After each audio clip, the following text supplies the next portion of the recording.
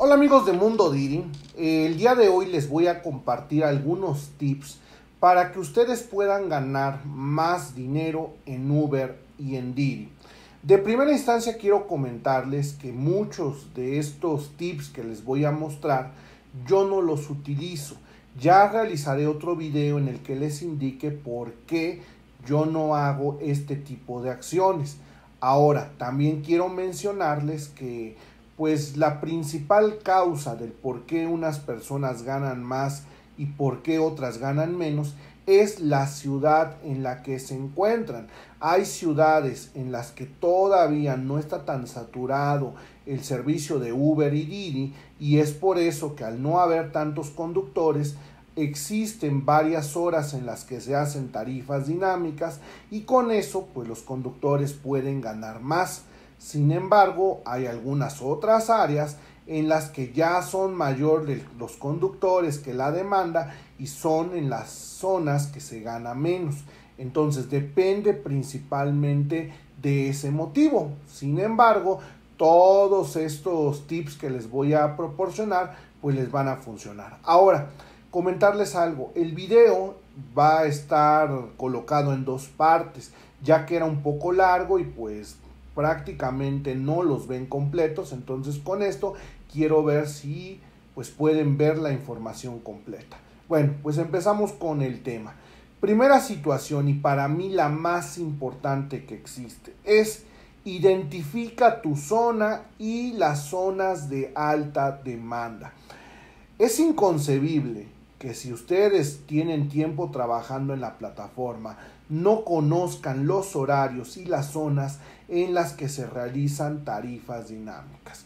Si todavía no lo sabes o si eres una persona que acaba de entrar a trabajar en las aplicaciones, yo les recomiendo que de primera situación se agarren unos días que no trabajen y que empiecen a observar el mapa, vean las zonas que se pintan donde hay tarifas dinámicas en qué horario inician y en qué horario terminan. Quiero comentarles que la gente siempre sigue patrones porque entra a trabajar a la misma hora, entra a estudiar a la misma hora, eh, salen de trabajar a la misma hora, salen de los antros a la misma hora, es decir, la gente es predecible.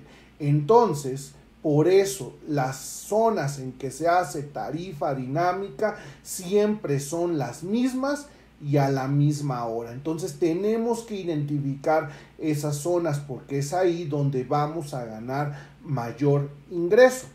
De hecho, miren, solo por ponerles un ejemplo, el día lunes, en donde yo vivo, que es en la ciudad de Puebla y vivo en la zona norte, yo ya detecté que hay tarifas dinámicas de las 5 de la mañana a las 6 de la mañana.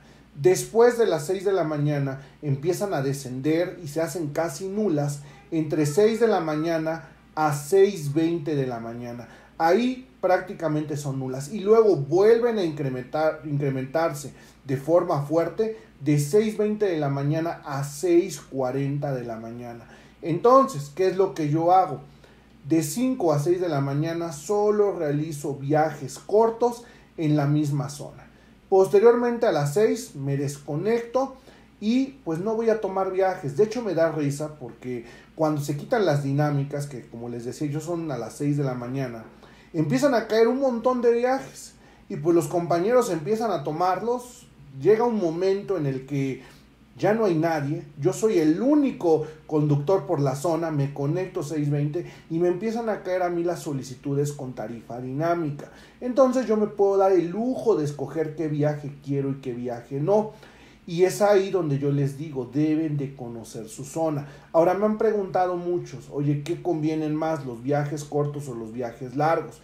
Todo depende de la zona, como les comenté, de 5 a 6 puros viajes cortos, porque me quiero mantener en esa zona. Pero, por ejemplo, a las 6.40 de la mañana se quitan las tarifas dinámicas y se vuelven a hacer hasta 7 y media de la mañana. Entonces, no solamente en la zona norte se hace esa tarifa dinámica después, sino que también en la zona sur también se realizan tarifas dinámicas 7 y media de la mañana. Entonces, yo lo que comúnmente intento hacer es para no estar tanto tiempo parado, es que mi viaje que tome entre 6.20 a 6.40 de la mañana sea un viaje largo, pero que me lleve al sur, donde yo sé que en ese horario van a existir tarifas dinámicas. Esto para maximizar el tiempo y generar mayor ingreso. Pero ustedes deben de analizar si dura un tiempo más grande la tarifa dinámica, pues conviene más los viajes largos. Pero por eso les digo, tienen que analizar su zona. Esto es bien importante para que puedan generar mejores ingresos. Ahora, el siguiente punto es que trabajen en horarios pico y cuando casi no hay conductores conectados. Es evidente que si no hay conductores conectados, pues prácticamente todos los viajes son para ustedes y se pueden dar el lujo de elegir cuáles son esos horarios de alta demanda. De hecho, yo empecé a hacer encuestas, eh, analicé los datos y en todas las ciudades son los mismos horarios. Lunes a viernes de 5 de la mañana a 10 de la mañana trabajan después, ya van a caer viajes con tarifas normales y pues ahí no les va a permitir ganar bien. Después de 6 de la tarde a 12 de la noche. Son los horarios que van ustedes a utilizar de lunes, de lunes a viernes donde van a obtener un mayor ingreso.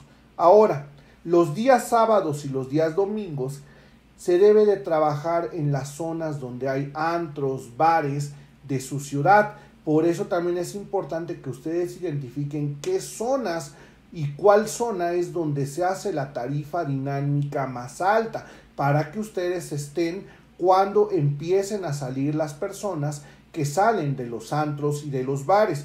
Nuevamente, el horario es de, les digo, lo mismo pasa, el sábado es de 12 de la mañana, de 12 de la madrugada, perdón, a 5 de la mañana.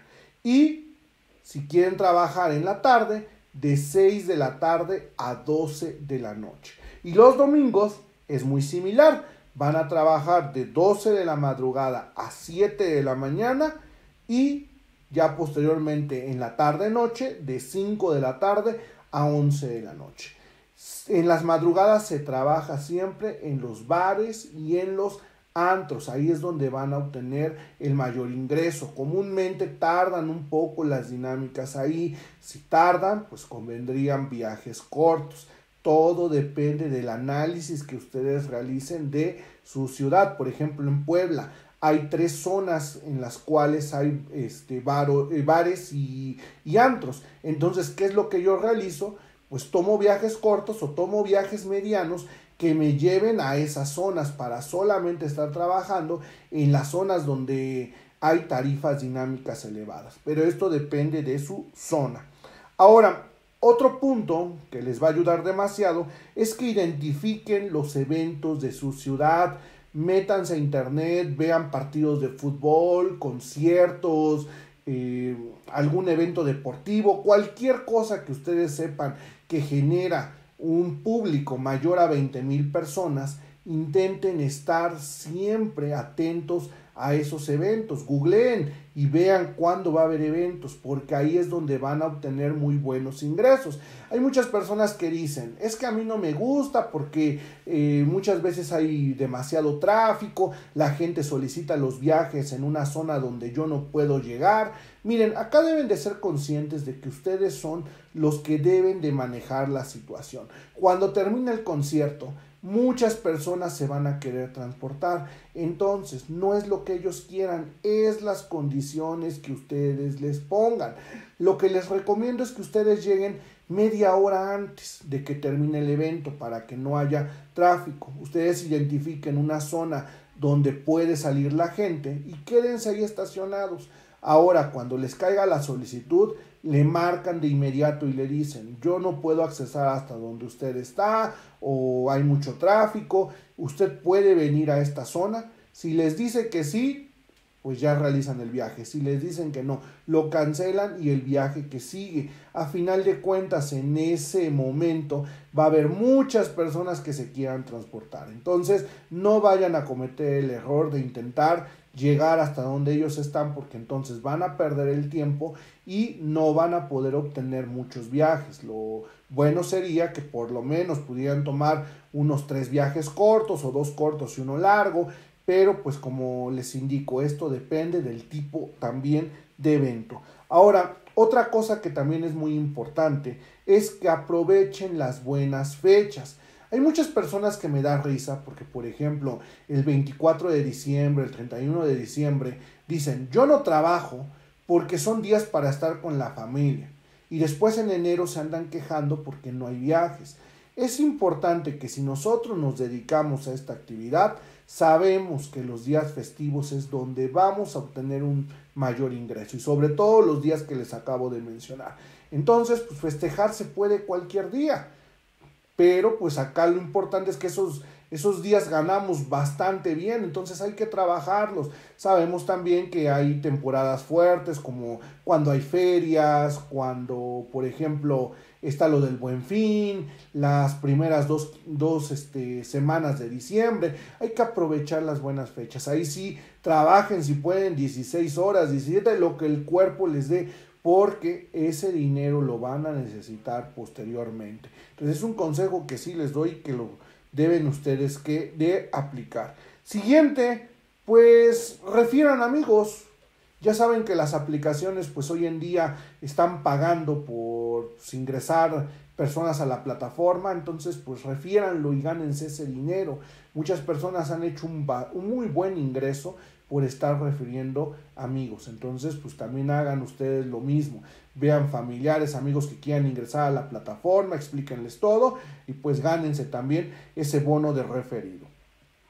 Ahora, ya a partir de este momento, si ustedes realizan este tipo de acciones, su cuenta podría llegar a ser deshabilitada, porque el siguiente punto es aceptar únicamente los viajes que a ti te convengan. Y esta situación, les digo, se escucha feo, pero es que para que nosotros podamos elegir el viaje que nos agrade, solo hay de dos. O hacemos trucos o rechazamos mucho. Ya en muchas ocasiones yo les he comentado que a mi Uber me desactivó mi cuenta por la tasa de aceptación, por rechazar mucho viaje.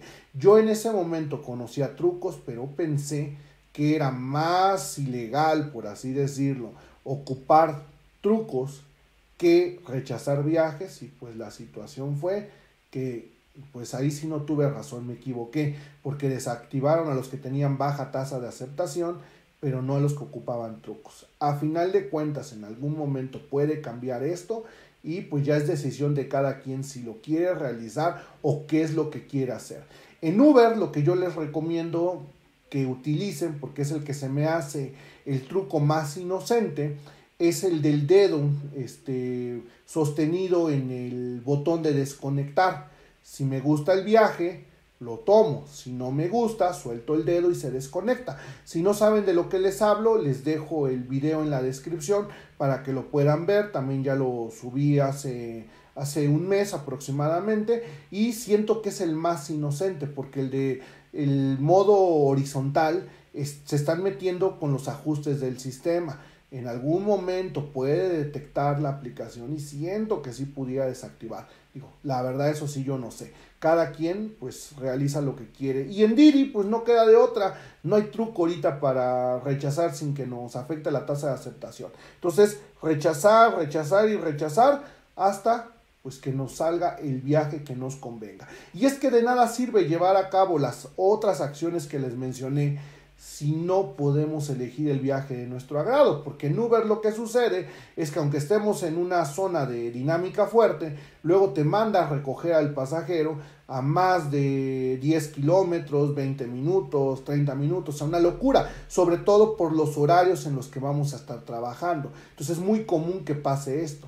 Entonces, pues, no, o sea, la cuestión ahí es que agarra el viaje más cercano, pero pues no siempre te manda ese. Entonces, pues ahí por eso necesitamos una forma de cómo escoger viajes. Entonces, esa es la situación. Y en Didi, lo que comúnmente pasa, porque ahí sí hay rechazos permitidos por distancia, pero lo que pasa es que puede estar toda la zona manchada de tarifa dinámica, puede estar a reventar por tarifas dinámicas y te mandan un viaje sin tarifa dinámica. ¿De dónde se lo saca Didi? Pues se lo saca de la manga, pero sí sucede. Entonces, si yo no tengo la capacidad de elegir el viaje que a mí me agrade, pues no voy a generar dinero. Entonces, de todas formas, tenemos que realizar este tipo de situaciones. Vuelvo a repetir, ya es el riesgo de cada quien. Ahora, en Didi, elijan o acepten más viajes en efectivo que con tarjeta. Ya les he explicado en muchos videos que se retienen más impuestos cuando el viaje es con tarjeta. Entonces, ya sé que hay ciudades en las que no les muestra la forma de pago, hay ciudades en las que sí. Aunque no les muestre, hay pues situaciones de acuerdo a los documentos que tiene registrado el pasajero que puede que podemos nosotros ver si el viaje es en efectivo o con tarjeta. Entonces, intenten aceptar más viajes en efectivo. En Uber no se puede, porque en Uber no hay una manera de poder constatar si es efectivo o tarjeta y si le mandan mensaje por el chat ya lo está detectando y está desactivando cuentas por hacer uso indebido del chat interno. Entonces ya no le pregunten al pasajero si su viaje es en efectivo o con tarjeta porque los pueden deshabilitar. Ese sí está comprobado, eso sí, no lo realizan. Pero en Didi, ah, este, usen más los viajes en efectivo. Ahora, si ustedes eh, se encuentran, van a trabajar Uber, elijan más viajes cortos. Desde que Uber colocó las tarifas dinámicas con sus dichosos más 20, más 80, más 100, pues te va a pagar lo mismo de dinámica por un viaje corto que por un viaje largo. Entonces no conviene hacer un viaje largo. En Uber exclusivamente van a tomar viajes cortos. Ya. En Didi se pueden dar el lujo de tomar viajes cortos, viajes medianos y viajes largos, pero ya se acuerdan que también les mencioné en algún momento que Didi nos miente con las tarifas dinámicas, porque la tarifa dinámica está topada a 180 pesos, de tal manera que si nosotros hacemos un viaje que habitualmente costaba 100 pesos, no va a multiplicar, por ejemplo, que la dinámica está en 3, no va a multiplicar 100 por 3 y les va a dar 300. Lo que va a hacer es los 100 del viaje más los 180 pesos de la dinámica topada. Les va a dar 280 pesos. Para que ustedes no se enojen con Didi, lo que hace es que aunque la dinámica está en 3, 3.2, 3.4, él manipula la dinámica para que lo máximo que te pague es 180. Entonces, aunque la zona esté muy alta, él te va a decir, viaje con tarifa dinámica de 2, de 2.1, de 1.8, de 1.9 para que no les tenga que pagar más. Es más, nunca se los va a pagar. Aunque ustedes, por ejemplo, tomen una ruta más larga, hagan más tiempo, nunca les va a pagar más de 180 pesos. Entonces, siempre nada más consideren eso. Hagan bien las cuentas y no les va a pagar más de 180 pesos en tarifa dinámica. Solamente tomen en cuenta esa situación. Ahora, si van a trabajar en un horario distinto al que yo les mencioné, trabajen la aplicación de InDriver. Uber y Didi, la verdad, dan unos precios muy bajos cuando no hay tarifas dinámicas. Entonces, en Uber no hay otra. Si vas a trabajar en ese horario mejor, prueba InDriver. Pero por favor sean coherentes con los precios que están ofreciendo. De igual forma, les dejo en la descripción cómo yo calculo una tarifa justa cuando no hay tarifa dinámica en InDriver. Por favor, no abaraten el servicio trabajenlo en esas horas. Y en Didi, pues solamente pueden trabajar en un horario distinto si están haciendo garantizadas. Si no, pues entonces también trabajen en driver, pero como digo, todo con mucha responsabilidad. Entonces, esta es la primera parte de los tips que yo les puedo brindar. En la segunda parte les voy a brindar otros consejos que, pues, de hecho, ocupan algunas personas. Los veo un poquito sensibles porque por eso generan dinero, pero de igual forma, en algún momento determinado les llegan a desactivar sus cuentas. Entonces, pues en este momento terminamos la primera parte y que tengan ustedes un excelente día. Hasta luego.